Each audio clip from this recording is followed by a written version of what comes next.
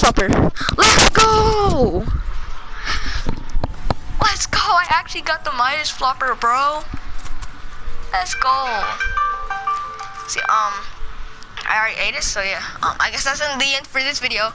Bye, guys. Oh my gosh, I can't believe I.